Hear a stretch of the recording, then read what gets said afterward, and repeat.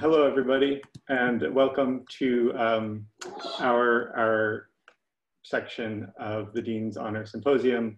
Um, our, our group um, has organized uh, a series of presentations around the idea of, of body language and the question of the, the relationship of the body to language uh, and vice versa.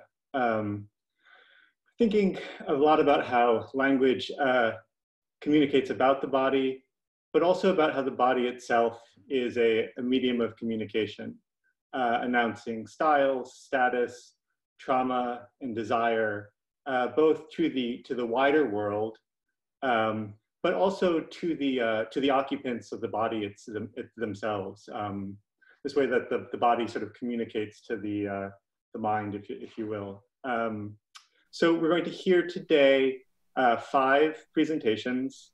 Um, the, the cohort consists of, uh, and this is the order of presentation. Uh, we're going to hear from Liv Koreman. We're going to hear from Crystal Ellington, Eric Osovsky, Emma Jones, and Art Lajara.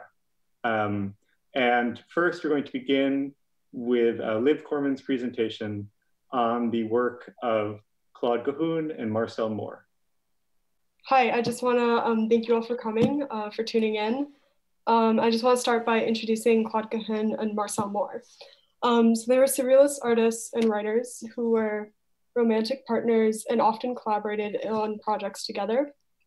They practiced photography, collage, and writing in Paris during the 1920s and 30s. They then moved to Jersey in Britain and continued working until Cahun's death in 1954. Um, in 1930, they published Disavowals, a surrealist memoir that included their photo collages, such as this one and the one on the previous screen uh, slide. Um, their collages were published alongside the text in Disavowals. Um, sorry, Moore and Cahun sourced their own photography as reference materials for their collages. The couple only published their writings and collages during their lifetimes, um, however, the most well-known works are their portraits, not their collages. Their photographs were published after Moore's death in 1972. This, in this large collection of surrealist photographs, Cahun is often the subject and Moore the photographer. Um, so this is an example of one of their most well-known works. Um, and the subject in this is Claude Cahun. And um, this is another example of one of their, their portraits. Um, and when their private archives were resurrected by art historians in the 1980s and 90s, Cahun was resurrected as the lesbian artist and more recently as a tra trans non-binary artist. These intimate photographs play with gender, age, and occupation to construct different identities and bodies. Um, so for my project, um, I made a zine titled Expansive slash Expensive Selfies um, that combines art historical analysis with collages using Cahun and Moore's portraits. I titled the zine Expansive slash Expensive Selfies to gesture towards the spaces that Cahun and Moore create and inhabit in their photographs, as well as how bringing these photographs from an intimate archive to art objects viewed by a larger audience influences them. I was also interested in how Cahun and Moore's work has been labeled as self-portraits and compared to selfies. Selfies or self-portraits allow for a type of trans-bodily construction, the ability to portray your own body compared to other forms of photography, such as ID documentation. Um, and so throughout this presentation, I'm going to break down the collages that I made in the zine um, by first presenting the, the portraits that, the like original portraits by Claude Cahun and Marcel Moore, and then um, the cuts that I made to them, um, and then building the collages throughout the presentation. Um, so throughout this process of collaging and writing, I was considering questions such as, how does the resurrection of Claude Cahun as a lesbian artist and then as a trans artist contradict their work claiming and rejecting masks? How does the collaborative authorship of Cahun and Moore complicate labeling Cahun as a lesbian or trans artist? How do the versions of a self or body accumulated in Cahun and Moore's work reject and claim each identity presented in the photographs? Sorry. And so I wanted to start the zine um, with this quote. It's only when we resign ourselves to necessary partialities that we can allow for our mask's mold to set, um, which is from Disavowals. Okay. Um, and I wanted to use this portrait um, of Cahun and um, and the use the mask from the portrait, which is parallel to Cahun's face, um, kind of to signal this visual metaphor. Um, in both their artworks and writings, Cahun and Moore use masks as a metaphor for the centralized versions of a self that are presented to be understood as an identity. Photography is used to create these masks by centralizing a body to a flat surface that we expect to represent the whole self. The masks presented in the photographs are not only true versions of Cahun and Moore, but also fabricated or failed representations. Um, and I use this image of Cahun's body as an example of how the artist flattens Cahun's face and body. By holding the mask to their face, Cahun is also showing their own hand in the construction of this version of a body. Um, throughout these photographs, there's al also an interaction, uh, uh, sorry, an inter er, erotic interaction and care based on the construction of gender and self. Cahun posing as different genders or identities, and Moore staging and documenting them, forms an erotic exchange between the couple through the intimate collaboration to explore gender itself. This exchange claims aspect of gender identity as well as sexuality in the same moment. The photographs have been labeled as Cahun self-portraits by art historians because they were not titled as part of the artist's private archive. However, Moore's involvement is present throughout the photographs, either visually or by documentation. I chose um, this image to include in the collage because of Moore's visual trace. Their shadow overlaps Cahun's body and entangles Moore not only in the photograph, but in Cahun's self, or in this representation of their body at least. Um, I used the whole photograph without cutting it or altering it um, in the collage because of the intricate space that Moore's shadow and Cahun's body create against the flowers behind them. Um, and so the photographs that Cahun and Moore took, including the still lifes and portraits, create deep spaces and flat surfaces. I want to include this quote also from Disavowals um, because it reflects the circular composition of this photograph and the artist's inhabitation of different identities in their archive of photographs. I collaged this still life because it defines and explores a gendered space and motion. The gendered items of clothing invoke a spiraling motion by their placement down the staircase. The staircase not only becomes a place of movement, but a decorated body. Queer identities hold space for gender nonconforming expressions, and many trans people move between these identities to inhabit gender. So Claude Cahun and Marcel Moore both claim and reject aspects of lesbian and non-binary identity in their work. These contradictions become a dimensional space rather than flattening a self into a single image. Um, and I want to use these two portraits in the same collage um, because I feel like they use this same kind of play between flattening with the mirror um, and their image and also kind of like entangling the couple and this sense of self. So these contradictions do not invalidate Cahun and Moore as a trans or lesbian icon, but rather highlight commonalities between. There is often an overlap in trans masculinity and lesbian butch identities, which are put in contradiction to each other. I'm a man, not a butch lesbian. I'm a masculine woman, not a man. These divisions are often in contradiction to my own experiences of moving between a butch lesbian and non binary trans identity. There's often an overlapping experience of butch lesbian relationships to masculinity and trans masculinity. Um, and I wanted to use this um, photo in particular in the collage because I feel like it really emphasizes the play between clothing, um, layering, and like fabric that they use throughout the portraits. Um,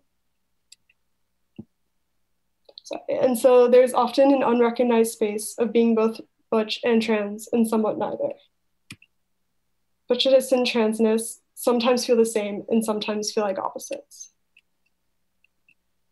Um, and so I included this, this part of the image um, in the collages because of how um, Cahun uses and more use lighting in this photograph to really like show the dimensionality or flattening effects that like photography can have on the body um, and kind of like inhabiting this trans aesthetic like through using these forms to flatten their chest. Um, and so this is the one of the final versions of the collage that is in the zine. Um, and I just want to pause for a moment um, and enjoy this photograph because I feel like there's a lot of playfulness throughout their archive. Um, and this is a good example of that.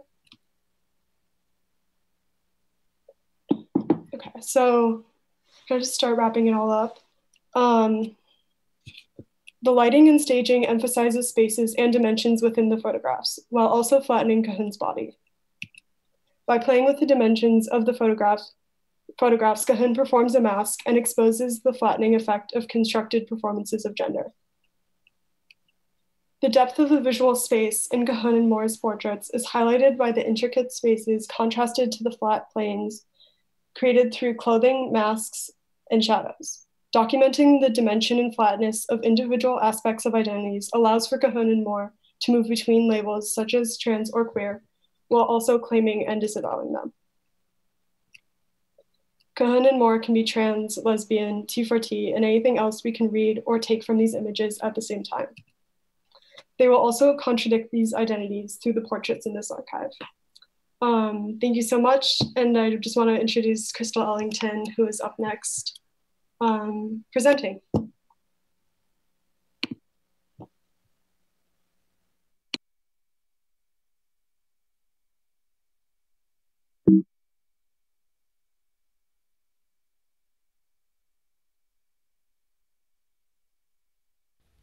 Hi, my name is Crystal Ellington, and today I'm going to be discussing with you my senior capstone called The Radical Project.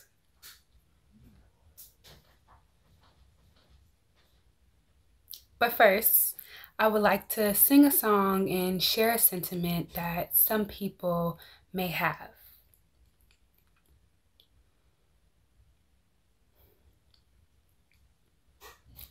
Don't touch my head. Cause it's the feelings I wear. Don't touch my crown. They say it's the vision I found. And they don't understand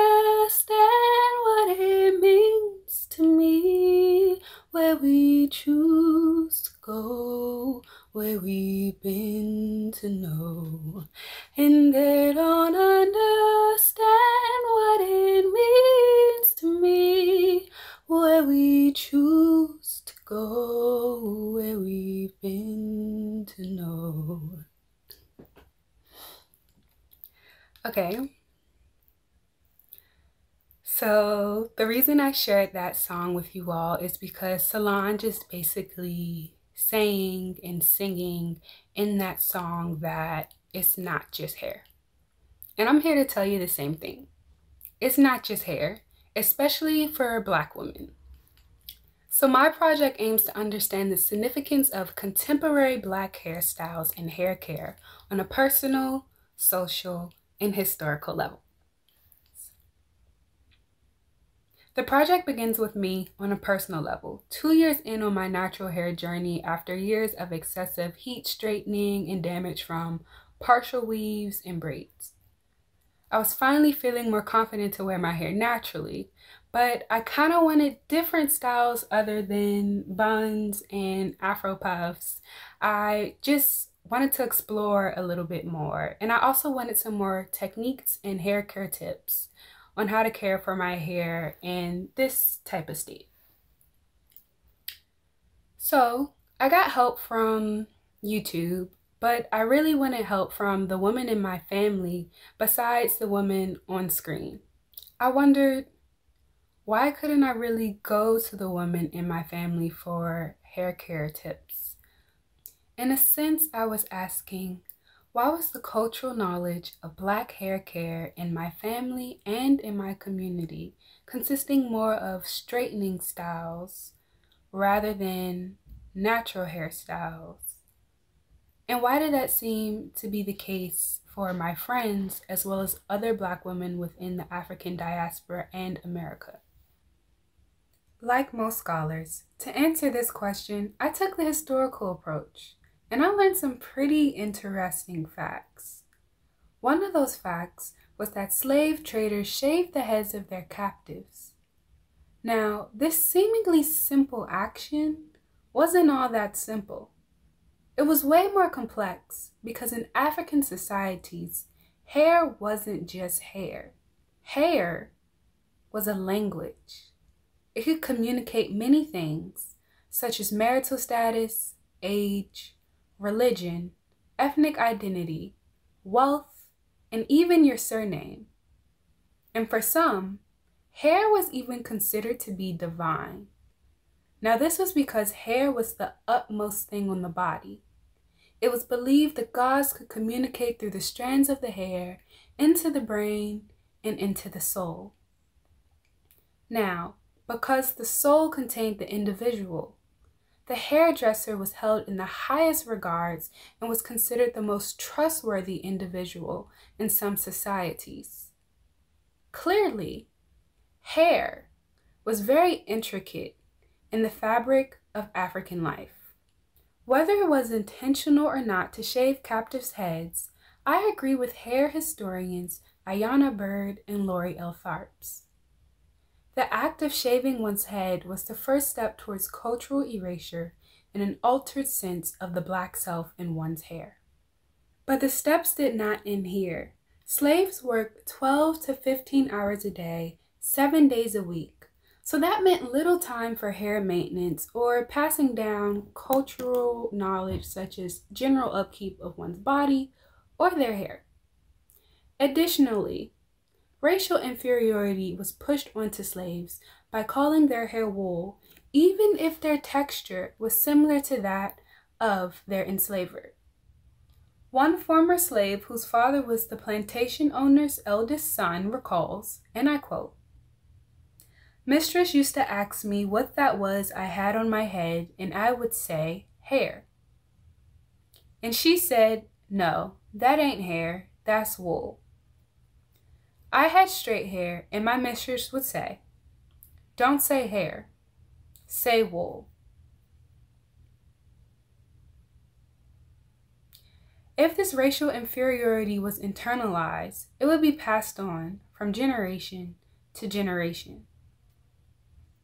Another step would be the adoption of white hairstyles due to working inside of slave owners' homes, as well as being tasked to style their own hair.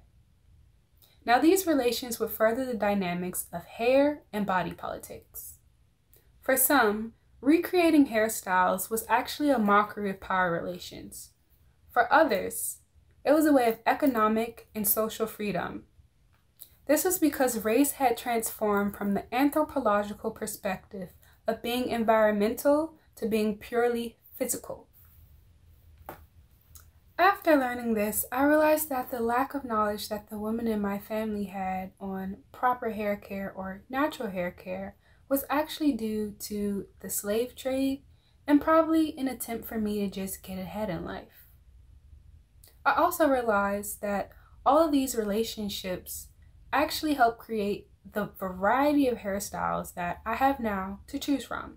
From Jheri curls to heat straightening my hair to even wearing wigs. My research also made me consider how caring for natural hair and knowing how to care for natural hair is actually a systemic issue, especially if you're a college student. Since I was curious about others' thoughts on hair, hair care, and identity, I decided to host natural hair care workshops at school. These sessions are called the Radical Project Workshops. They begin during the fall 2019 semester, and besides hearing other perspectives on hair, the goal for the sessions were to actually see how hair affects identity as well as social interaction while creating a physical community to remedy the loss of hair knowledge. I also sought to remedy the financial issue of having to buy hair care products as a college student by asking for a mini grant and actually getting a mini grant from our Civic Engagement and Social Injustice group at the New School. Each week, participants discuss a theme related to hair, hair care, and blackness.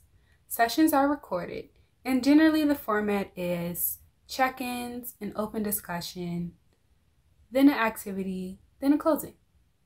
Outside the workshop, participants sign up for interviews with me to share their hair stories as well as their favorite styles. By the end of the project, I hope to have a live website that features the audio from the interviews, as well as videos of hairstyling and some thought provoking articles. With this project, I hope to showcase how hair isn't just hair for Black women, but that it's personal, social, and historically significant. Like Solange says, it's a way to communicate our feelings and our beliefs and love for our bodies. And if you really think about it, hair is a language. It speaks for my ancestors, our innovators, and of course, myself. Thank you.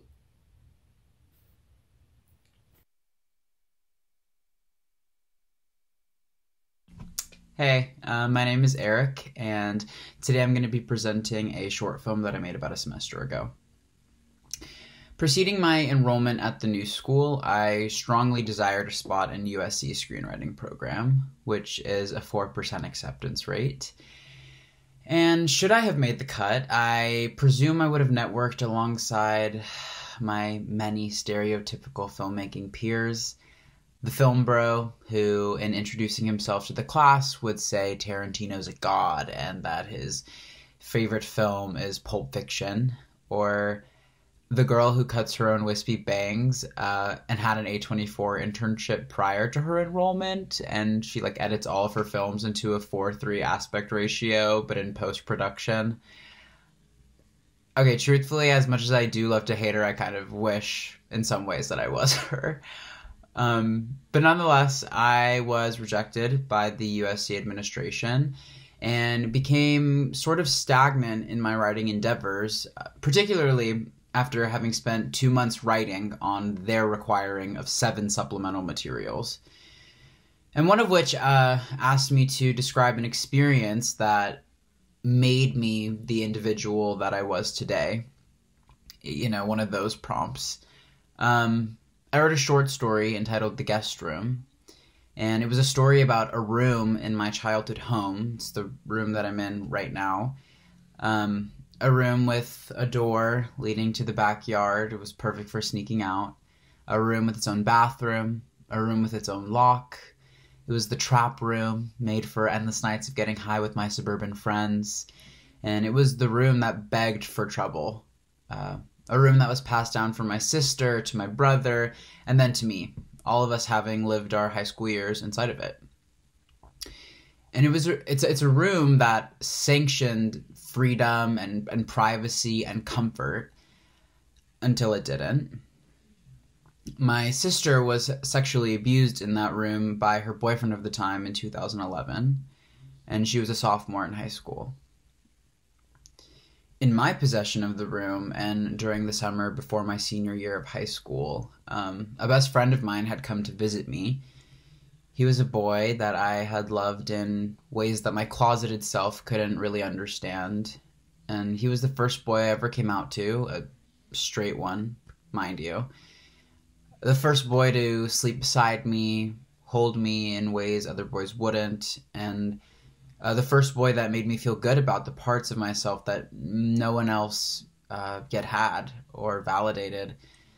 And after having spent the day with our mutual friends and getting way too stoned, he came home with me, as he always did. And um, in my sleep, he attempted to have sex with me. And I woke up to unwelcomed hands in my pants and to two endless hours of unconsented groping and I stayed silent, and I, I became silent. Uh, it was like a newfound tension. A boy that I had once desired physically and emotionally had now become my abuser, and it was a boy that I never imagined was capable. And sexual abuse is ambiguity. It doesn't look or feel any certain way. It is a collectively individual experience, and I'm reminded of that every time I return home, every time I'm returned to this room and I sleep in this bed. And before the Dean's Honor Symposium, I had no intentions of sharing this piece publicly. It didn't even have a title. I didn't know how to associate my experience, how to compartmentalize it, or to call it. And it's neither entirely good nor bad. It's it's nameless and it's silent. And in navigating how to reflect on an experience like this, one that has hindered me of trusting potential partners or engaging in sexual intimacy and love, something I know I deeply desire, um, and would be good at, I've discovered that talking about it renders no answer. I mean, after enduring the assault, pretending to be asleep, waking up, and staring into the eyes of a boy who'd known he'd done wrong, it was the silence that became the loudest sound. And it was enough of an answer. Silence is the loudest sound, and that is what I have chosen to call my movie. Um, even though my teachers encouraged me to submit it to festivals. I felt so uncomfortable and shameful watching my film. Uh, weary people wouldn't get it, um, as if there's something to get. And ironically, after forcing myself to take part in the symposium, I have found greater meaning in my piece in its entire production process. I made a film about the ambiguities of sexual abuse, uh, more rightly put, about the relationship between an individual's endurance of sexual abuse within a particular space. For me, for my sister, it's our bedroom, this bedroom. And now, when we share and live in that space together during family reunions, having known it differently in different times, I can't help but think about how she must feel every time she returns to it, too it's the casualness, the subtlety, the boundarylessness, and the lack of knowing one is worthy of consent that renders sexual abuse as insidiously ambiguous. And the new school has provided a space for me to explore my trauma and struggle with the ambiguities of sexual assault and the spaces in which they occur. And in retrospect, I am thankful I didn't get into USC because making a film about my sexual trauma cost enough. And uh, on a last note, uh, if at any point you feel uncomfortable or triggered by the images or actions on screen, uh, please feel free to step away if you need to.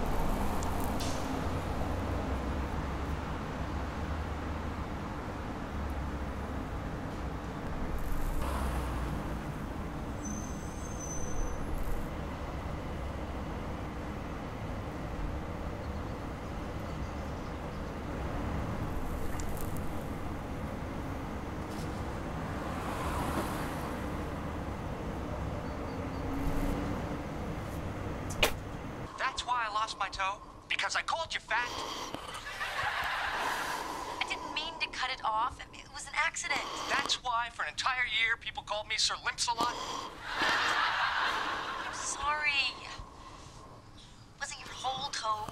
Yeah, well, I missed the tip. It's the best part. That's the nail. Chandler. Sir Limps-a-Lot. I came up with that. What? Nothing. I said I said you're so great, and then I just I just stopped talking. You said you loved me. I can't believe this. No, I didn't. Yes, you did. No, I didn't.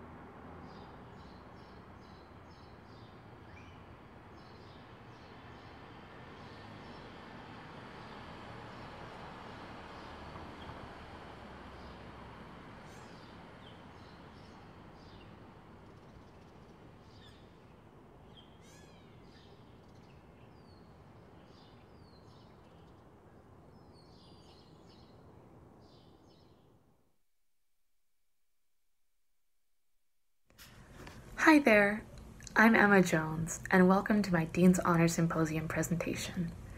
Thank you to everyone on livestream for watching, and to all of my panel members, Liv, Crystal, Eric, and Art, for the vulnerable and thought provoking work they're sharing with everyone, even across these platforms that are a little confusing to use and in these times that are deeply difficult and confusing as well. I hope the symposium can be a way for the Lang community to be together and unite behind a bunch of interesting research that we've all worked really hard on. I'll be talking to you today about my research on the French second wave feminist thinker Monique Wittig and my process translating her novel Les Corps from French to English for a contemporary audience.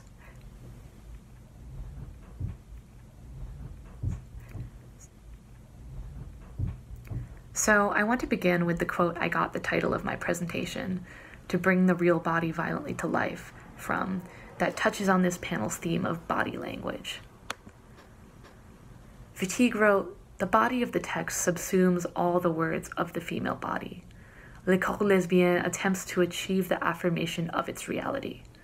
To recite one's own body, to recite the body of the other, is to recite the words of which the book is made up.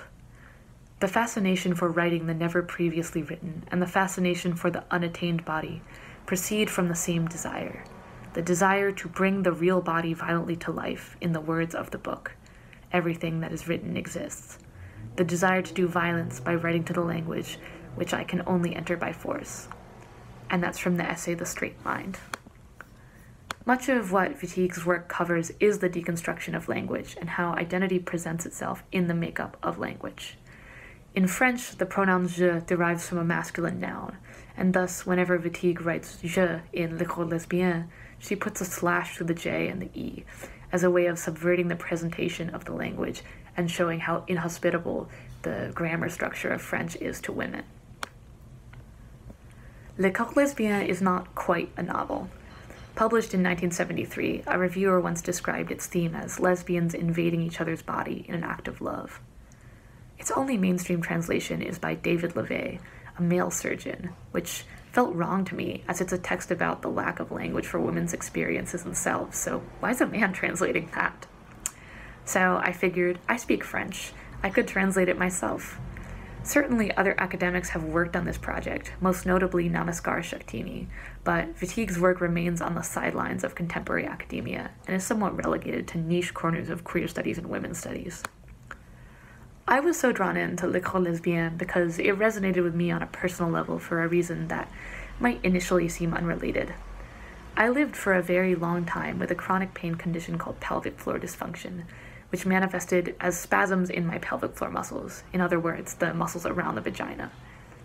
The rabbit hole of medical testing and clinical language around sexuality and sex organs that I fell into gave me an incredible amount of insight into my own experience of sexuality, but was also incredibly isolating. Many women with pelvic pain experience unconventional orgasms or are unable to have penetrative intercourse at all. The only academic article I could find on pelvic floor dysfunction that was not a medical statistic was Amy Kaler's Unreal Women, a study of the sexual experience of women with vulvodynia, another form of chronic pelvic pain, and how pelvic pain affected their perceptions of their womanhood. As well as my translation, I have written an academic article on the link between pelvic floor dysfunction and Wittig's writing, wherein I worked in Kaler's research on pelvic floor disorders and my own personal experience. Chronic pain is a very rarely discussed corner of disability studies, and looking at Wittig's work through the lens of that discipline provides a necessary link between disabled and queer existence as well. Translation as a practice is the act of trying to bridge two things which are not necessarily compatible, a lot of Wittig's writing hinges on the French specific grammar that point that all objects are gendered, and it was difficult to apply that to English, which doesn't have that in its grammatical makeup. But that idea about translation can be extended to experience as well. I may not be able to make any of you entirely understand the experience of living with pelvic floor dysfunction, but by becoming aware of its existence through language, I have at least made some connection, however imperfect. This is simply to provide a visual for the work that I've been doing and to give you a sense of the format Le Corps Lesbien is in that straddles poetry and prose. I understand it's likely difficult to read via the live stream format, but I wanted to show that there are both subtle and significant changes between Wittig's original, my work, and LeVay's work. I'm going to zero in on a few. Here you can see that in Wittig's original French, she used the word sans pouvoir. Quite literally, this translates to without ability. However, pouvoir also comes from the same root word as the English word power, and can alternatively be translated as power. I found this interesting in the context I was approaching Le Corps Lesbien from in my academic paper, and the disability studies theorist Robert McRuer has an excellent essay called Compulsory Able-Bodiedness and Queer slash Disabled Existence, which provoked a lot of thought in me about ability, access, and power structure. I wanted to preserve that reading, so I decided that powerless was better than without being able, to keep the double entendre in French and the honoring the root word. I don't imagine any of you have heard the word cyprine before, unless you happen to be a French doctor. It's a French word for vaginal discharge that is very rarely used outside of a medical or clinical context. You can probably understand why it rubbed me the wrong way that LeVay translated this as juice. There's an odd sexualization there which seems to defeat the purpose of a text that is trying to decenter men's experiences from language. I tried the word discharge as a replacement, but realized that wasn't that was used another time in the text more directly, and eventually, after reading Namascar Shaktini's very specific defense of preserving the word cyprine, I decided to leave it as it was. Wittig uses the word maîtresse, which, as French masculine and feminine nouns often do, translates most literally as female master. In English, the words master and mistress feel less directly connected than maître and maîtresse, and I again felt there was something strange and fetishistic in LeVay's choice to supplement Wittig's words with mistress. I wanted to choose something that felt more neutral, because Wittig's writing is meant to acclimate the reader to feminine experience being the neutral as opposed to the masculine. Since English doesn't have feminine, feminine and masculine nouns, this was a challenging choice, but I went with my love because of the possessive pronouns connotation of power structure, that preserves what maîtresse was going for while avoiding sounding clunky in English. I hope that through my research I can show a wider understanding of chronic pain and the sexuality of chronically ill people through not niche medicine, but rather through art and language. I was fascinated by this text from the beginning, how it head on acknowledges the power dynamic and violence inherent to love and intimacy, and the beauty of the language in, the, in Wittig's writing. Though it's definitely not a light beach read, if you do check it out, I can promise it won't be like anything else you've ever read before. A thank you to my professor in my freshman year Poetry of Resistance class, Miller Oberman, for supporting me in my project and introducing me to Monique Wittig. Again, a thank you to everyone on the symposium panel with me and to our faculty advisor, Pacho Velez for their friendship and support both during this stressful time globally and regarding my project. I'd like to personally thank Prim Baisia, Jillian Bolnick, Frankie Ackerman, and Lucas Weiss. And of course, finally, a big thank you to everyone listening. We'll be continuing with a presentation by Art Lajara.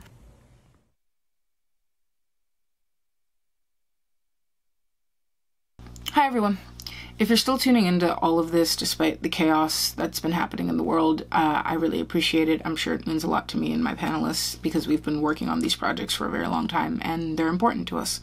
Um,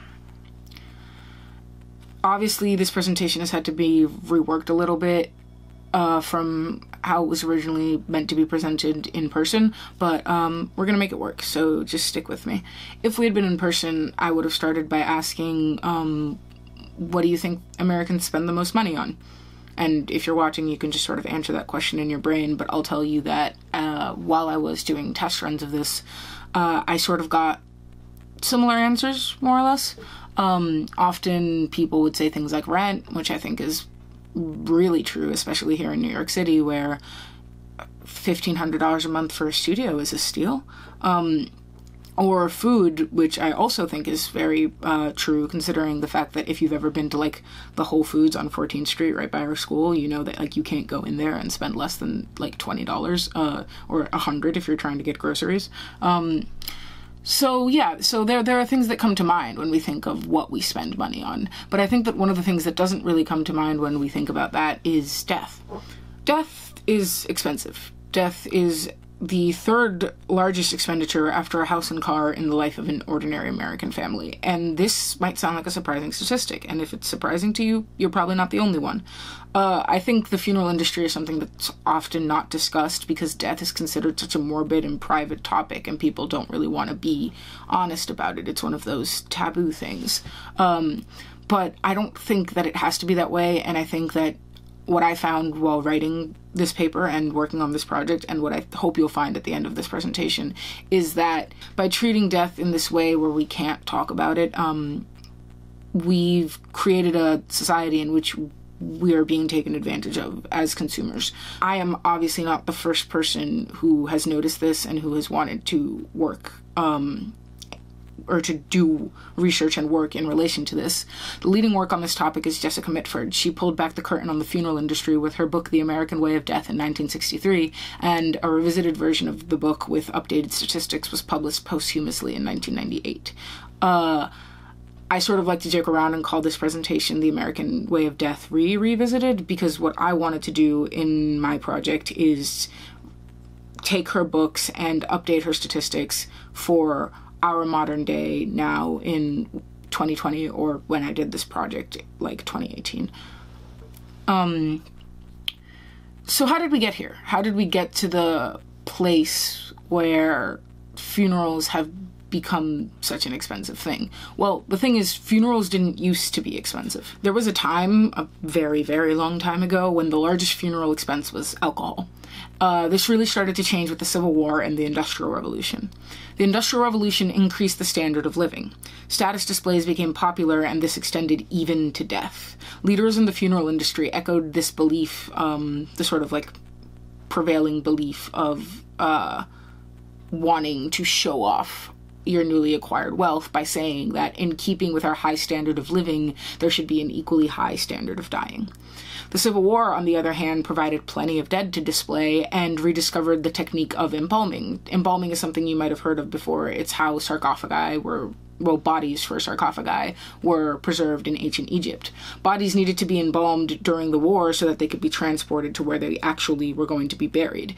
And it's due to this practice that becoming so widespread that the profession of the undertaker was able to come into its own. The profession of the undertaker is crucial to understanding why the funeral industry has become so expensive because of the fact that the role of the undertaker becoming something that's been professionalized is something that is often used to justify the higher funeral cost and the undertaker service fee and all that because they that's what funerals do now they're they market themselves as providing a service embalming is also really important because it's became so widespread that many people believe it's still required for hygiene reasons. Um, this is despite a ruling by the Federal Trade Commission in 1994 claiming that funeral directors could not lie to the public about what is and is not required in funeral services. This idea that embalming is required has become so widespread that the damage has been done, and often funeral directors don't even have to lie because people just assume that it's something that has to happen. Uh, embalming has also taken center stage because of the idea of the open casket funeral. The funeral industry has sold us on the idea of the beautiful memory picture of one last look at the dead uh, in this sort of like beautiful form uh, without any of the pain, without any of the trauma from dying. Just this this this preserved body that almost looks alive. Uh, but this idea is a uniquely American one, and I want to stress that because 68% of funerals in the mid 1990s here in America were open casket, uh, but that's not how it is in the world at large. Um, this idea of the body, of something that the funeral director sells to us, of something that is, we have to witness, like families have to witness the body um, one last time in order to feel like real closure is something that funeral directors and the funeral industry capitalizes on. Jessica Mitford in her book quotes John Crocius by saying, If embalming is taken out of the funeral, then viewing the body will also be lost. If the body is taken out of the funeral, then what does the funeral director have to sell? And sell is what the funeral industry does. In 1963, the funeral industry was a $1.6 billion industry. Uh, and Jessica Mitford sort of like messes with that math and includes some things that were obviously being left out in the original calculations and rounds it up to being a $2 billion industry, um, which means that we were spending an average of $1,450 per adult funeral. Um, in the 1960 in, in the 1960s that amount $1450 is was more than what was being spent on personal higher education expenses, the cost of providing medical care for the elderly, and what the federal government was spending on conservation. It was higher than all three of those things, among some other things, combined, uh, which meant effectively that we were spending more on the dead than the living. Uh, and the cost of funerals have only continued to increase. Um, the National Funeral Directors Association has a website where they provide a national median cost of funerals every year. You can go on their website, you can look at their statistics. It's what I did for this paper. Um, and they provide a national median cost of funerals every year and specify that it does not include cemetery, cemetery monument or marker costs, or miscellaneous cash advance charges, such as for flowers for an obit- obituary. So it kind of makes you wonder what it does include, but it does include things like the average price, the median price of a casket, and the service fee, and all of that. So it's the numbers that I used. And what you can see here is that for 2017, their median cost of a funeral with viewing and burial was $7,360. I just want to let that sink in for a minute. $7,360. Their total cost with a vault, which is something that is also not required by law, but is often required by like the specific cemetery that you're choosing to bury the casket in, uh, is $8,755. These prices, of course, are for a traditional funeral, and people are becoming less and less keen on the idea of a traditional funeral. There's no shortage of articles on the internet questioning the future of funerals and talking about the latest innovations in methods of body disposition, burying your ashes along along with or under a tree, shooting them into space, turning them into diamonds. I'm getting my ashes turned into a record when I die, um, and my partner is on board with this and knows that it's my last wish. So that's just sort of what I'm thinking about. One of the most well known alternatives to burial is cremation, and while one might assume that cremation is cheaper, the funeral industry has gone to lengths to ensure that it won't be. Uh, what are these lengths? Well, basically, the funeral industry tries as much as possible to sell you a cremation with service, which is basically a funeral with all of its trimmings just as an adjunct to cremation. Uh, uh, there are cases of funeral directors renting caskets for short viewings at 600 to eight hundred dollars, and then all the funeral director has to do is replace the interior between uses, um, which costs him less than hundred dollars, so he can make a tidy profit. Um, there's uh, instances of funeral homes dissuading the family from scattering ashes and advertising uh, the purchase of a niche instead, or charging one to two hundred dollars for a sea scattering, and then paying the pilot an average of thirty to sixty dollars so basically, like the pilot is paid thirty to sixty dollars to scatter a bunch of ashes at sea. The funeral industry uh, charges one to two hundred. The funeral home charges one to two hundred dollars. They make a profit. Um, meanwhile, casket manufacturers went all in on the production of luxury urns at wholesale prices ranging from seventy to five. $575, which translates to a much more expensive price for the customer making his or her selection in the undertaking parlor. In addition to this, when looking at the complications of cremation, we have to look at the legal complications. 39 states have ready to embalm laws, which require all firms selling any type of funeral service to have embalming preparation rooms and all funeral directors to be trained as embalmers. This increases the price of burials overall because that cost of the extra schooling gets passed on to the consumer. It also increases the rates of embalming because if someone went to school to learn to embalm, you can bet they're going to counsel families to choose that as the as what they want for their deceased loved one. Um, overall, when it comes to cremations, this kind of commercialization and and these kinds of commercializations and complications add up. Uh, if you look at the statistics on the Nat- National Funeral Directors Association's website, you'll see that the median cost for a funeral with viewing and cremation in 2017 was $6,260. That's basically around well, the exact number is $1,100 cheaper than a funeral with burial, or a difference of $2,495 considering the vault, which means you're basically only saving on the casket. So what can be done? What can we do about this? What what what what does this knowledge what can you do with this knowledge that would make listening to this presentation worthwhile? well, I think the most important thing, and I save this for the end of the presentation because it's what I really want people to take away from it. I think the most important thing is to know your rights. Um, as I mentioned earlier, in 1994, the Federal Trade Commission created something that is called the Funeral Rule, which is basically a list of regulations um, that were meant to sort of crack down on some of the injustices in the funeral home industry. And a lot of people don't know that the funeral rule exists. Um, so here I am telling you that the funeral rule exists. The funeral rule makes it so that funeral directors can't lie to you, but that doesn't mean they won't try. So here are a few things to keep in mind. First, embalming is not legally required in any state. Funeral home uh, second, funeral homes are required to provide you an itemized list of prices, and third, no state or local law requires the use of a casket for cremation. Those are three very big things to remember. Um, Caitlin Doughty, who runs a YouTube channel called Ask a Mortician, also explains that knowing your rights is especially important in the case of direct cremation. Direct cremation is uh, barring sort of like strange things like give like li- like giving your body to the government uh, to use after you die um, for scientific testing. Uh, direct cremation is the cheapest way to dispose of a body after death. It is the cheapest funeral method that exists. Um, but you have to know how to ask for it. Um, because according to the Funeral Consumers Alliance, 23% of funeral homes don't even tell consumers about direct cremation options.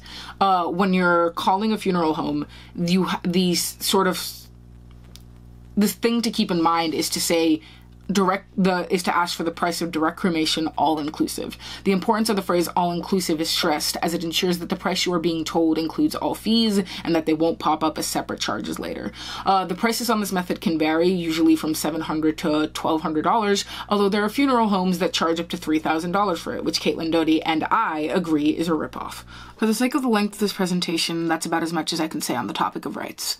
That being said, I want to leave off with a silver lining. Green burials are becoming more and more popular, and as they do, the funeral industry is increasingly in a position where they will be forced to innovate or die out. That being said, knowing our rights is essential, and I hope this presentation makes that clear. Funeral homes should exist to provide a necessary service, not to take advantage of families in their most vulnerable moments. Thank you all again from the bottom of my heart for tuning in. This concludes our panels, and we'll be transitioning now to a live Q&A.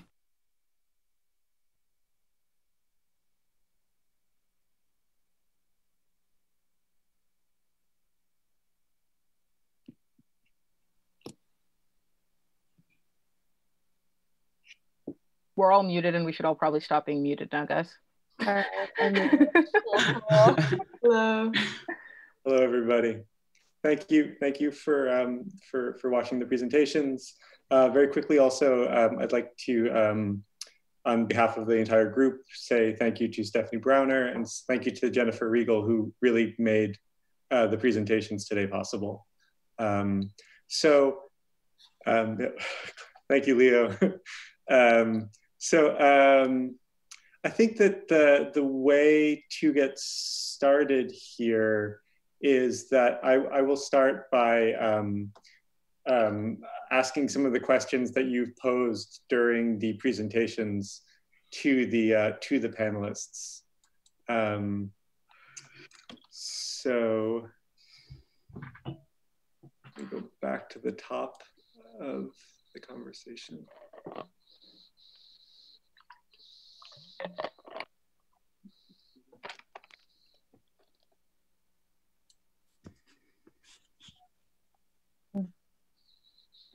And Liv, maybe we'll start um, with uh, with Dominic's. Um, sorry, with Gloria's uh, question to you, Gloria O's question um, about other artists that you think are using concepts of masks to ask the questions that you raised.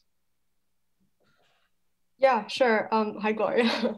um, so I was thinking about this. I don't have a great answer to this question. Um, there's a lot of um, so artists like Cindy Sherman um, are often like put in dialogue with Cahun's work. Um, Cahun kind of as a precursor to Sherman's work, um, kind of using this this idea of becoming another person or putting on a mask somehow to become another person.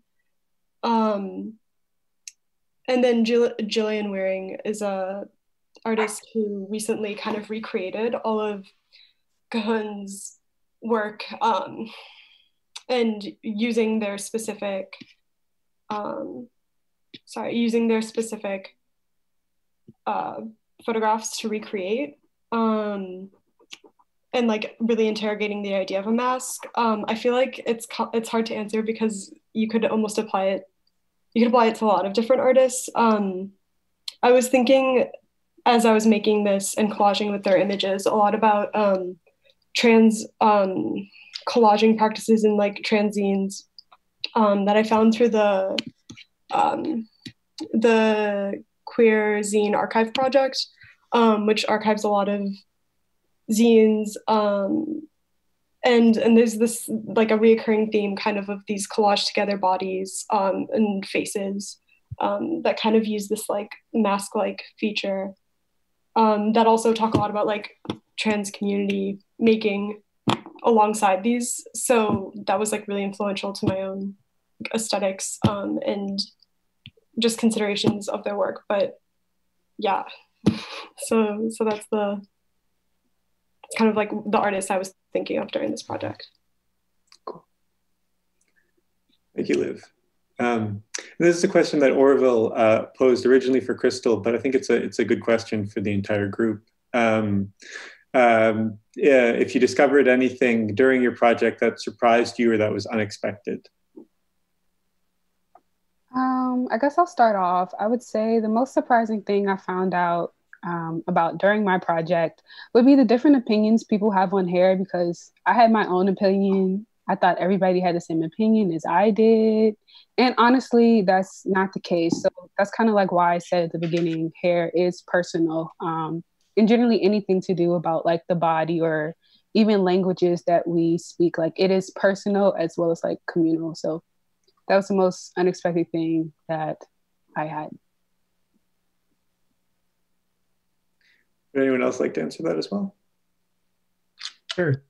Um, for me, uh, I would say that uh, the most challenging thing was the actual process of making it. Um, I, I feel like a lot of people don't. I think, I think the process of filmmaking is heavily undermined by like the end image itself, and you know, a lot of the time people are only taking away what they've experienced on screen, but they don't understand like the actual process behind shooting it and this was like the first real project that i ever went full force on and really shot um, and thought all about continuity and made a whole shot list and you know I got all these props and got all this equipment and did all this stuff and I did it with only two other people, um, my friends McKay and Carlos. Um, so we were just like a three people crew and um, it just really made me appreciate um, the the process behind filmmaking relative to just like the image that you see on screen at the end. And that was i think like the biggest struggle that i discovered lugging like pound 80 pounds of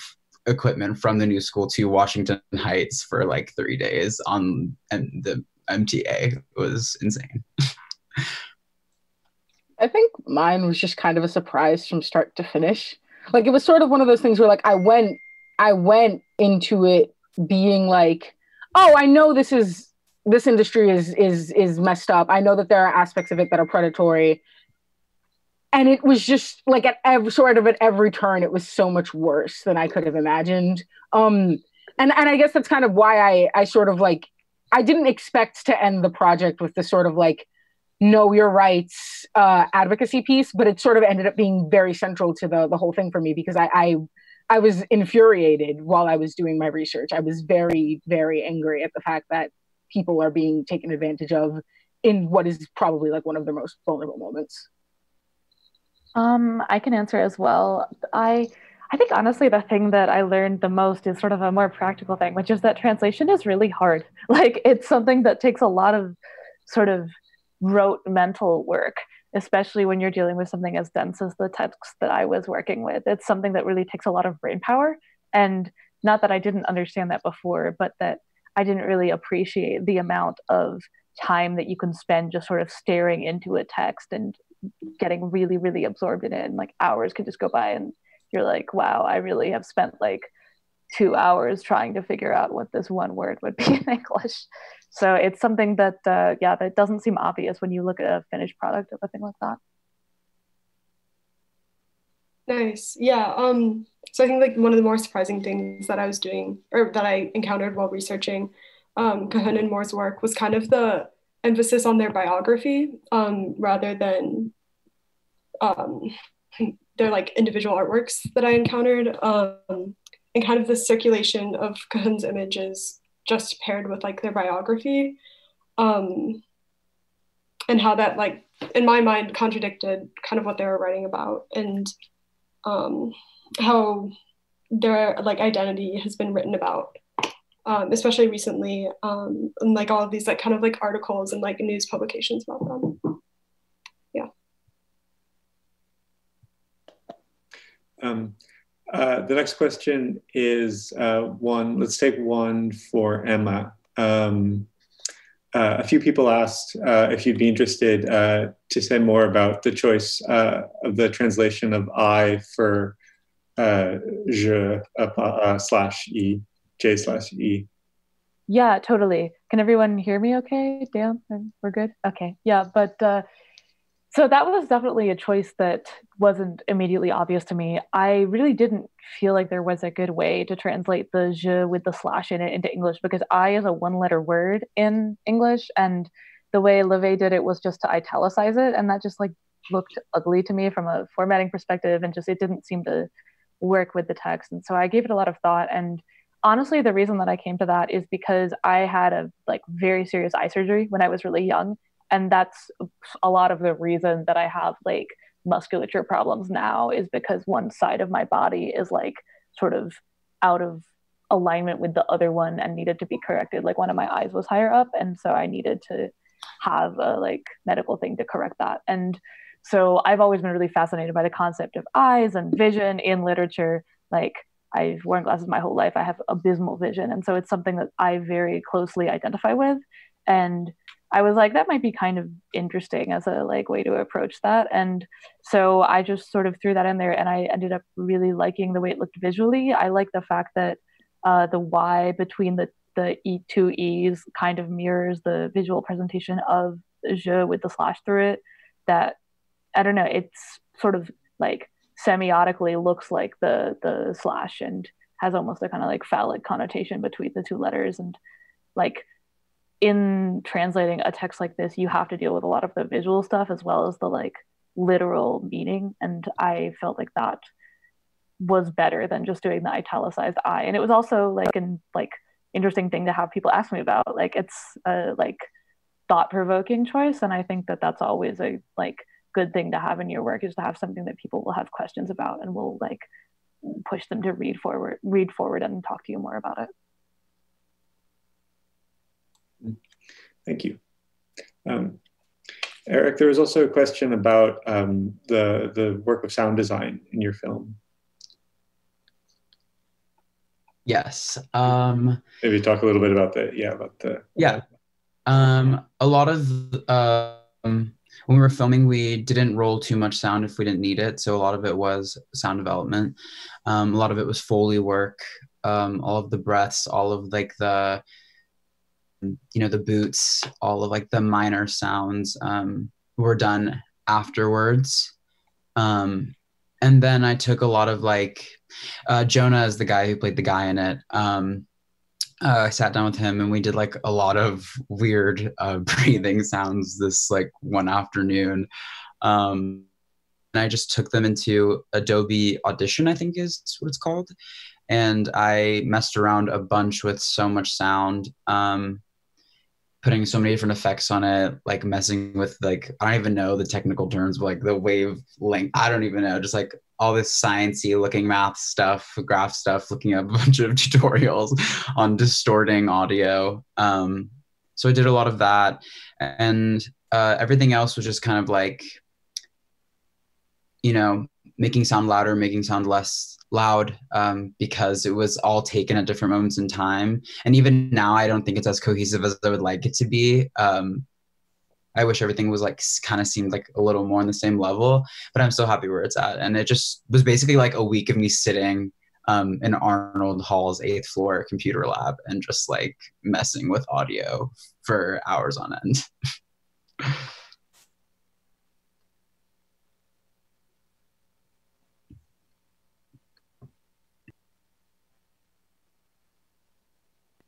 Pacho, I think uh, you're on you're on mute. um, um, you were actually telling a, a sort of a, a, funny anecdote about when we first heard the video as well. Um, in oh, the, like in, in, our in our in the first time yeah. this. Mm-hmm. Oh yeah, it's just like completely no audio, and I just think it's so funny. Um, we have like a little i mean we're all here on zoom all of us and all, of my fellow panelists are here telling me like oh my god it sounds so much better with the audio. Like i actually got way more out of it now. And i'm like well that's the point because the first time it didn't happen and i was kind of freaking out um, about if anyone would like actually enjoy or get it to the extent that they could. And it was just an awful experience having to like watch this very vulnerable thing that I made just like with no sound. So it just like didn't really make any sense at all. Mm-hmm. But um I'm happy that it's now now you can all hear it. I'm happy. Thank you. and just I mean just for me and I think for the group, the experience of seeing it um in in a situation where we really couldn't hear it and then seeing it in a situation where we the sound is very present uh, really points to the the ways in which the sound design sort of fundamentally changes the uh, the meaning and impact of the piece. Yeah. Yes. Um, so uh, I'm going to ask another question uh, to Crystal. Uh, this one is from Hannah Griffslevin. And apologies all if I'm getting your name slightly wrong. Um, Crystal, uh, did you share these hairstyles with your family? Uh, have they changed their hairstyles from straightening it to appreciating the curl and working on some of the styles you discovered? Okay, can everyone hear me? Am I good? Okay, so I actually did not really share a lot of these hairstyles that you saw in the um, video with my family, but um, I think my dad saw um, one when I was doing a little slides, and his reaction was like, "Wow, that's so cool." Um, but when it comes to the women in my family, uh, I haven't really fully had that conversation yet, but um, from the pictures that I see, I kind of, I kind of don't know if I really need to have that conversation because, like I said, hair is personal. Like for my mom and like the era of, I guess, like the asymmetrical hairdos. like I think that's just so cool and so characteristic um, of the of the era of where you know how she grew up. So no i really haven't um, had that conversation um, about them embracing their hair i would say. But i feel like they embrace it in their own way. Like mm-hmm.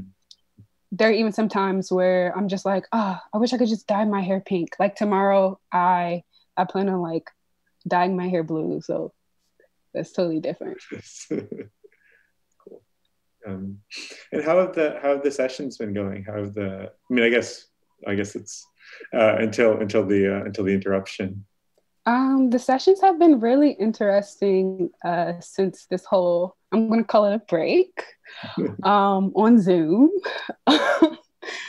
it it's been kind of challenging because you have to be engaging, but at the same time, I feel as though that it feels kind of natural because you know people FaceTime nowadays, so like we're just having our little conversations. It's like a group. So far with like us doing hair within the space, um, we haven't really been able to do that. But since we're all home, um, and there's like the new craze on Instagram about the I think it's called the Don't Rush Challenge.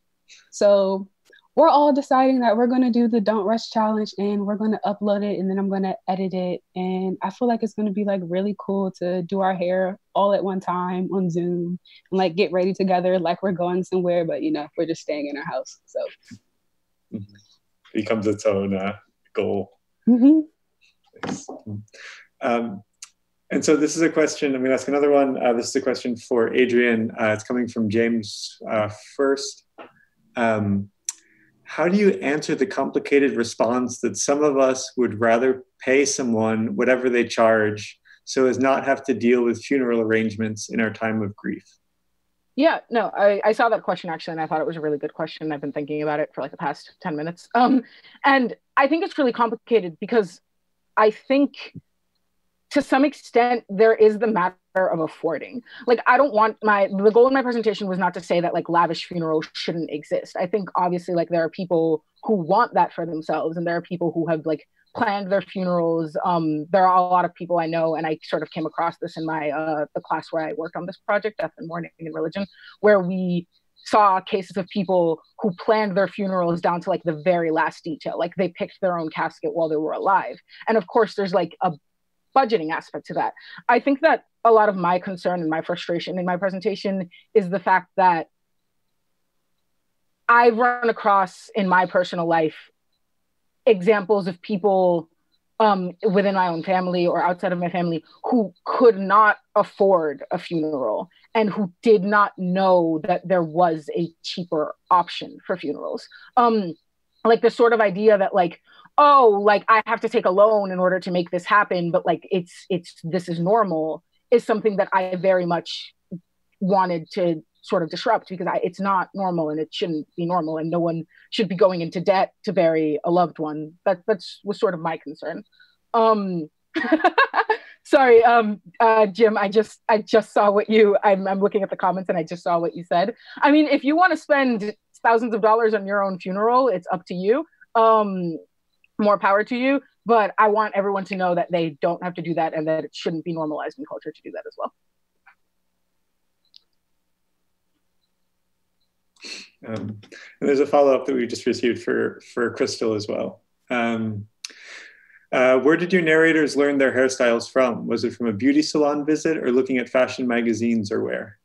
Um, I've had some people learn, I would say, from fashion magazines or going to the salon. I would definitely say that uh, for some individuals, it is like their mother actually like, you know, doing hair or whatnot. So it's, it's definitely different and it depends on the person. Mm-hmm. I would mm-hmm. say for me, like part of it would be my mom and my sister.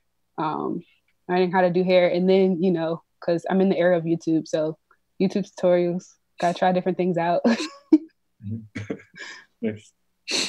Um, and this is maybe a, a, question for the the entire group. Obviously, you you all conceived of this your your project ideas uh, separately before you before you'd met. Um, uh, and once we sort of decided on this this broader framework of, of body language, how did uh, how did that concept uh,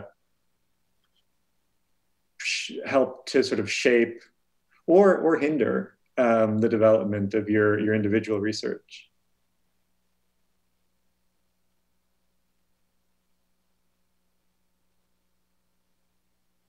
I guess I can uh, begin to answer that. Something that really fascinated me in our panel was how, I believe we talked about this like when we were initially trying to come up with the name, the fact that all of our presentations dealt with different things with the body, but in incredibly different contexts. Like mine has a lot to do with sex and a lot to do with like sensuality and like physical pleasure, whereas Eric's approaches sex and physicality from the complete opposite standpoint of like the the opposite of pleasure and sort of violation and invasion. And then Art's has to do with death, which is a bodily experience that's like another sort of like foil to the idea of sexuality because death is the opposite of procreative. It like ends something. And then I feel like Liv's and Crystals both deal very much with like aesthetics and presentation of both of these ideas. And this is like a not totally formed thought that I literally just have now, but like I feel like every part of physical presentation and every part of aesthetics is some combination of like sex and death and those two ideas sort of working against and with each other like i think those are the two sort of most primal physical experiences and if language is trying to do anything i think it has to do with those concepts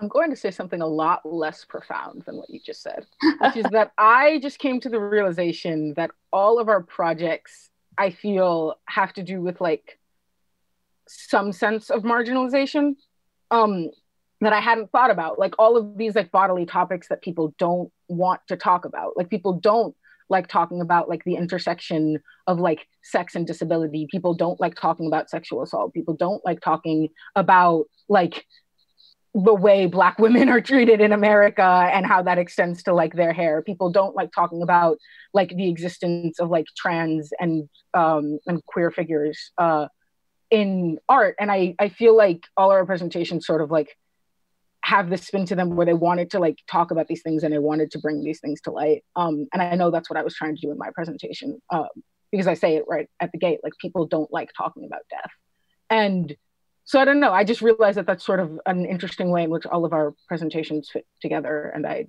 kind of wanted to highlight it. Yeah, I'll say piggybacking off of that, that that's basically kind of saying that we've all been like silenced in some kind of way and that we haven't got the chance to speak about our bodies in the way that we would like to speak about our bodies sometimes or that is misunderstood. Um, so that's that's what I'll say.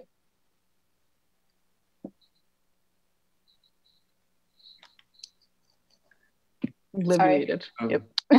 we got you. Um, I think once we like met and kind of talked through this this idea for the panel, um, I think like my idea of like what maybe a mask is um, kind of shifted a bit and kind of thinking in this this way that Emma Emma talked about with with presentation as language. Um, definitely like influenced how I thought of of masks for my own projects um, and this language through like creation or just presentation.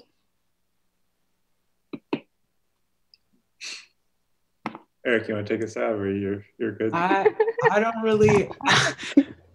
um, I don't know. I agree with everything they've they've said. What I think is really interesting is just how kind of back going piggybacking off what you said about uh, Crystal, uh, or a way in which that our bodies have been silenced, and this is kind of like now we've been given a platform to like talk about this, which I'm so grateful for. What I think is so interesting is that we all had these individual experiences.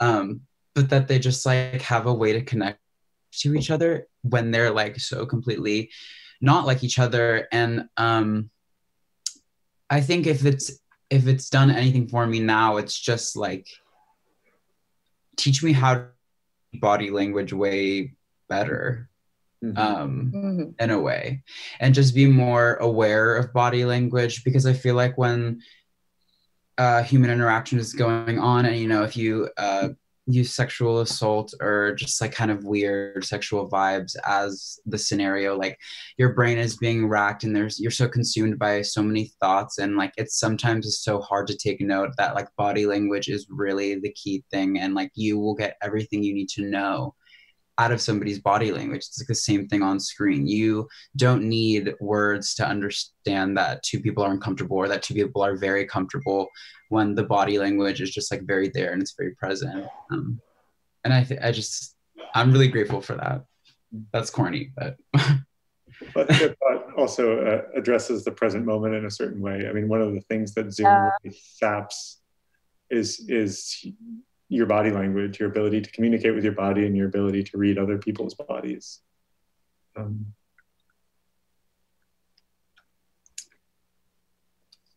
uh, so- oh, I'm sorry, I'm seeing that the stream is broken. Yes, I just Uh, want to make sure before we continue because I, I froze up for a lot of people. So. Okay, let's give it one sec.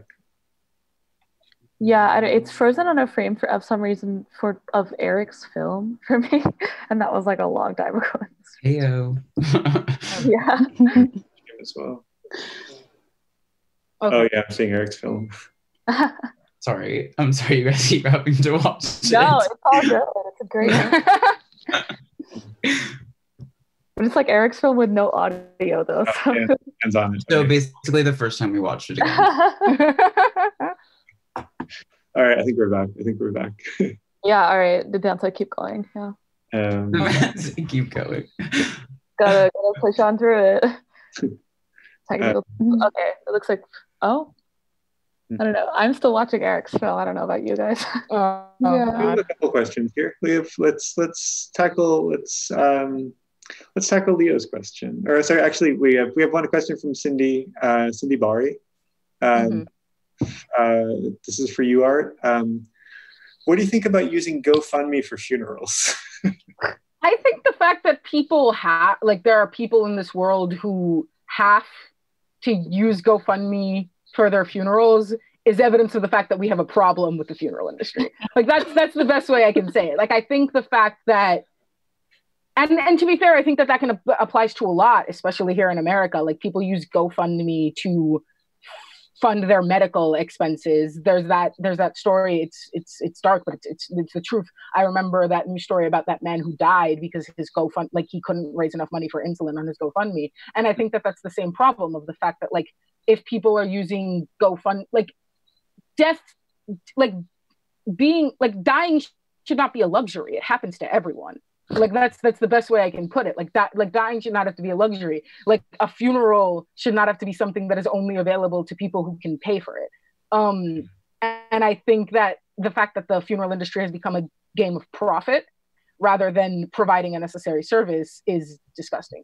so that that's that's mostly what I can say about the fact that people like the thing of using GoFundMe for funerals. Like the fact that people have to do that proves that there's something wrong. um, we have a question from Leo, uh, Leo Goldsmith for Eric. Um, can you talk a little bit about the painting at the end of your film uh, and what you think about the creative uh, the creative process's role in helping or even hindering the process of working through trauma? Um, first, hi Leo. Um, mm-hmm. and I could go one of two ways. The creative process of like me or the person who made the the painting for the film, or the like the character herself, like painting in the film. Um, I guess. Uh, I'll. I guess they're kind of like one and the same, as if like Madeline Fisher, who played the the girl in it, uh, as as kind of me in a way. Um, uh, I think of it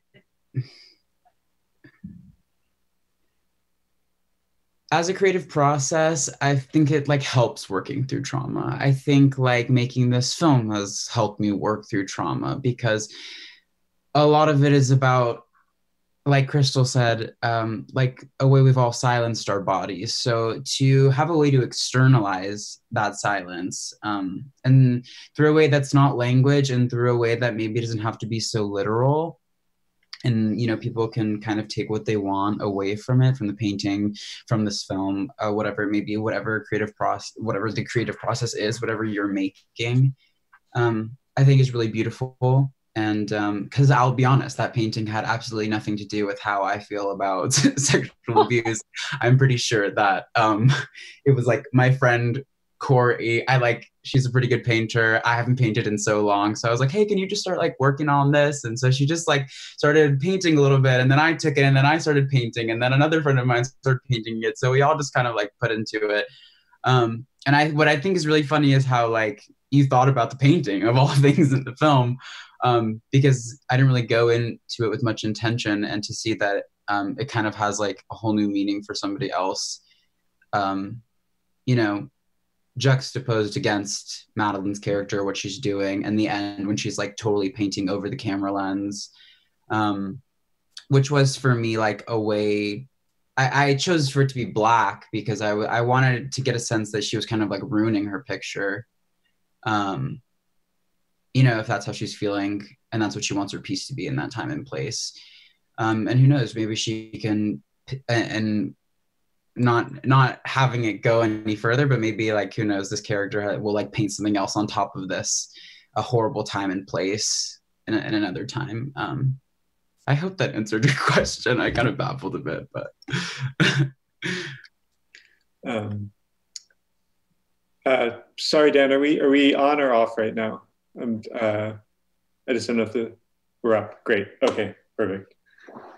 Um, and I have uh, another another question um, that is um, is for the group. Um, obviously, this was this was not how we imagined uh, capping capping your research. Um, and I'd like to know a little bit more about your plans for uh, continuing the work or or uh, other other spaces that you might like to present the work in um, and in general sort of how you yeah how you sort of see this work um, how you see yourself continuing to um, present this work to the world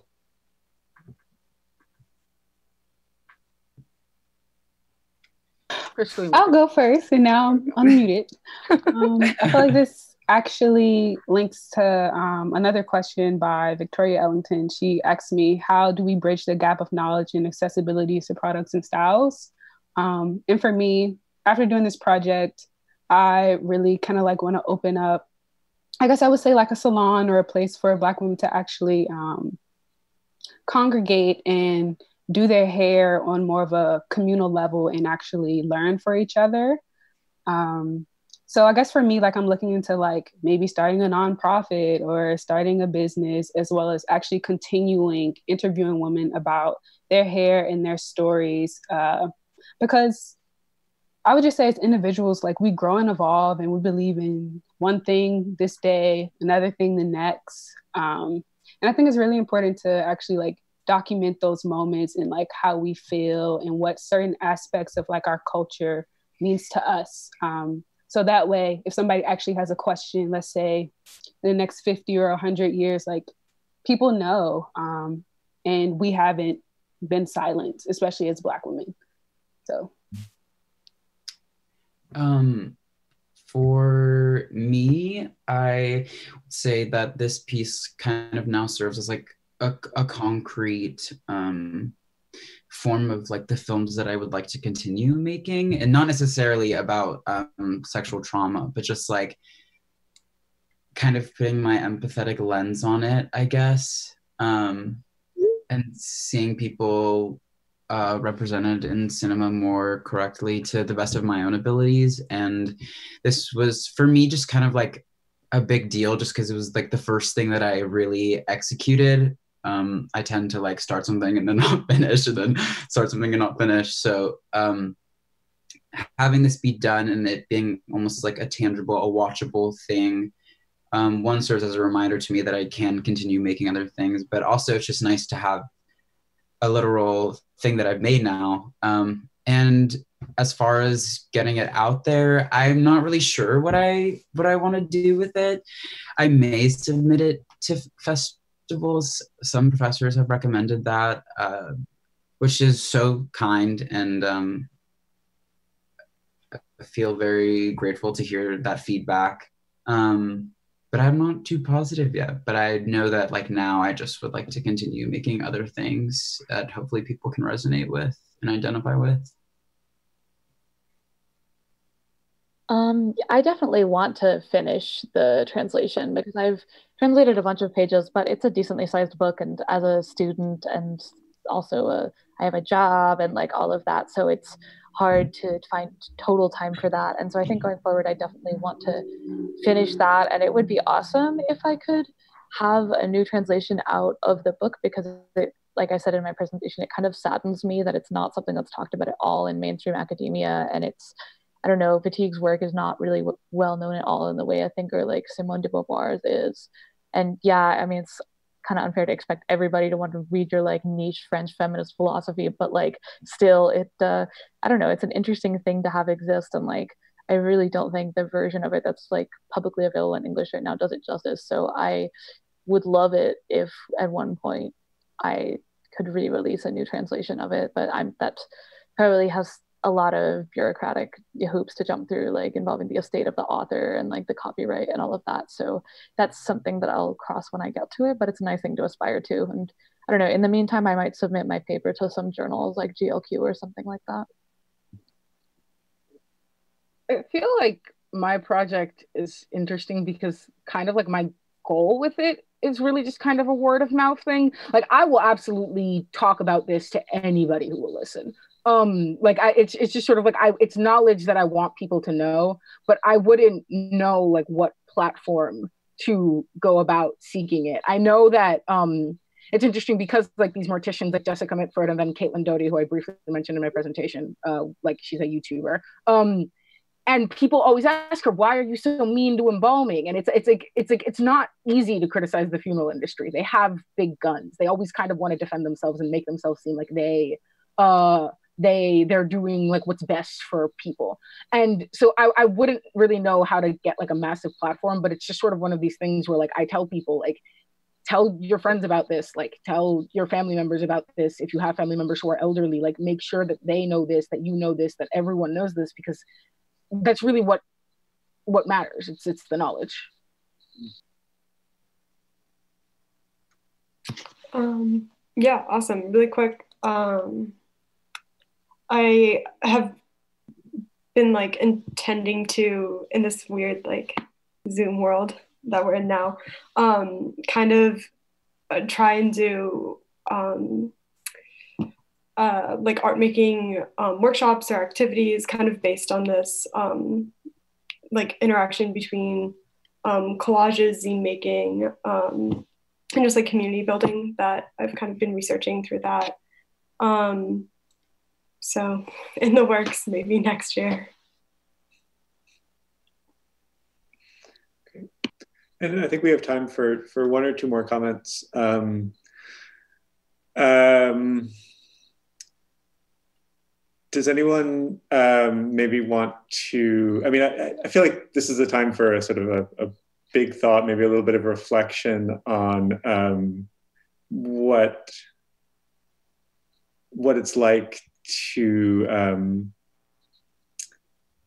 to to present work in a virtual space, um, not to have the the body um, in quite the same way. Uh, this weird Zoom world, as you just called it, live um, um, yeah, if anyone has a thought on that. Emma, you're muted. You you muted, Emma. oh, sorry about that. um, yeah, I was just saying, like, to be honest, I was really depressed about the fact that we had to present virtually. Like, I kind of felt awful about it for like up until probably today. Like, uh, yeah, it uh, it it definitely wasn't the form that I wanted to be doing this in because I was excited to like invite my like friends and family and everything to a physical event. But like having been here in this space, it is nice to still get to like share this moment with mm-hmm. all of you and to like know that even though we're in separate spaces, we still have like worked really hard together and like are able to appreciate each other's work. And I don't know, I guess there could be some like large philosophical takeaway about the like fact that emotions and experiences do kind of transcend like physical space a lot of the time. Like mm-hmm. i don't know that's something that i deal with in the idea of being a writer or a poet or a translator that like how can you take something out of its physical presence and put it into sort of an like emotional space where no matter where you are you'll be able to appreciate it for what it is i feel like i don't know like my sort of experience with this was just I was very scared. And this this doesn't even apply to this class, it applies to all of my classes. Like I was really scared that after the extended break and just like all of this that's been happening that like no one was going to care anymore and no one was going to show up and no one was going to take anything seriously and just the fact that like and I felt this like the first time that we had our Zoom meeting afterwards when we were trying to figure out how to make this work. Just the fact that all of you like came here and you wanted to make this work, and we, I feel like we all just put so much work into making these presentations like adapt it adapt to a uh, like digital sense. Like I learned video editing for this, so like I I don't know. I just I feel like it just meant a lot to me that everyone in this class um in this section cared so much about this and still wanted to get these messages out despite our lack of a physical space. Um, and then I guess just as like a funny little anecdote, I don't know. I guess this like means a lot to me because like all of my like I, I my partners and my uh and my friends and my parents like have tuned into this and like they're like sitting in the living room right now like listening to me even though I'm in my bedroom and I don't know. It's funny and it's weird, but it, it means it means a lot to me. Well, that might be a great great place to end it. So thank you all. Thank you for participating thank you to everybody uh, out there watching. And um, yeah, we're signing out. Okay. Thank you, everyone. Bye. Thank you. Bye.